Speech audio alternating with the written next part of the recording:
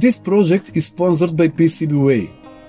They have all the services you need to create your project at the best price, whether it's a school project or complex professional project. On PCBWay you can share your experiences or get inspiration for your next project. They also provide completed surface mount SMT PCB assembly service at the best price and ISO 9001 quality control. Uh, visit www.pcbway.com for more services.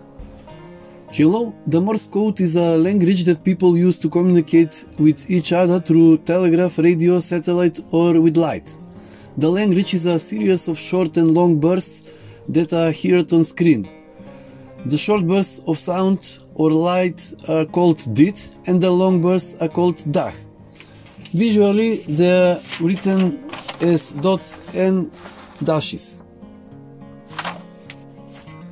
Ham operators typically use a telegraph key or pedal to manually input Morse code which is then transmitted via radio waves.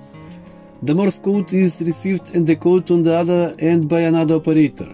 Learning to read Morse code is quite tedious and thanks to this device it is not even necessary. The signal for the receiver from the receiver converts dots and dashes of Morse code into letters and characters which are then displayed on a LCD display. Presented device can receive characters at speed of up to 60 words per minute. Although the decoder is basically designed to work with a ham radio receiver, it can also be used to learn how to type Morse code signs. The device can be easily made and consists only a few components.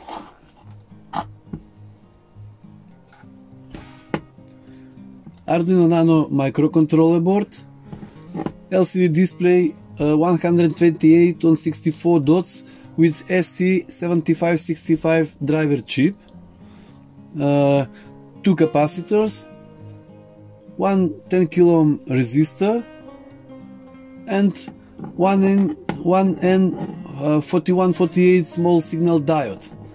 The components are mounted on a small universal PCB for compactness and better functionality of the device. The signal from the receiver is, is brought to the input of the device and it should have a level greater than 1 volt pp. If we use this device as a Morse code trainer, we need to connect a telegraph key uh, or an ordinary switch to these inputs for functionality testing. And now let's see how the device works in real conditions. First let me tell you that I have no experience at all in this area so I made audio files on an online text to Morse code converter uh, with which I will simulate CW reception.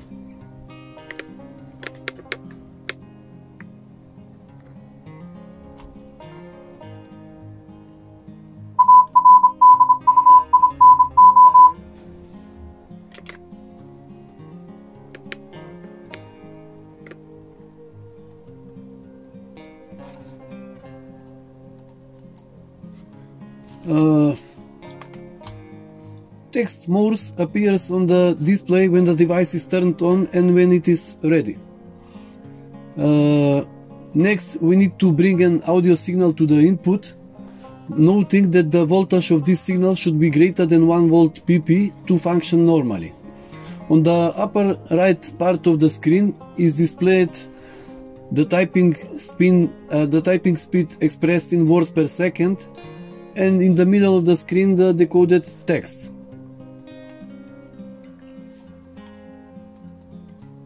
Uh, let's try word Arduino.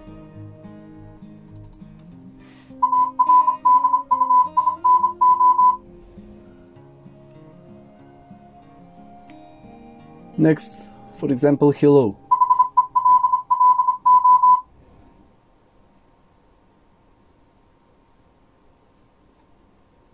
my channel name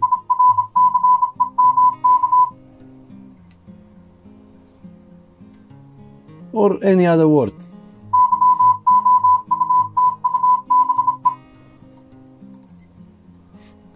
From the example, it can be seen that the decoding is 100% performed without error, which in real communication also depends on the experience of the radio operator who transmits the signal. This device can also be successfully used as a trainer for learning Morse code. For this purpose we need to connect a telegraph key to the SW inputs. I'm, I'm using arcade button that I made for a previous project of mine. And of course I'll try to type a simple message like SOS which consists of 3 dots, 3 dashes and 3 dots again.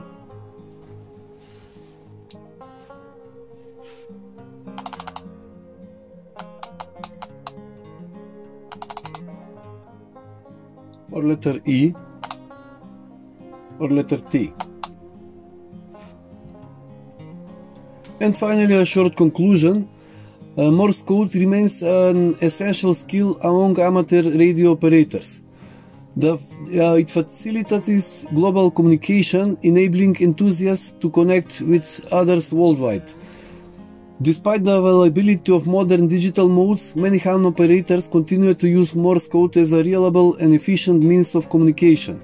The device presented in this video is especially useful for ham radio beginners and also shortwave listeners who can monitor CW communications without knowing Morse code. In one of the following videos, I will describe a device with a reverse function which will convert any text typed on a PC keyboard into a Morse code signal and this signal will be able to be sent to the transmitter through a 5 volt relay module whose contacts will be connected in place of telegraph key. At the end the device is embedded in a suitable box made of a PVC board and lined with colored silt adhesive wallpaper. The following is method of making this device.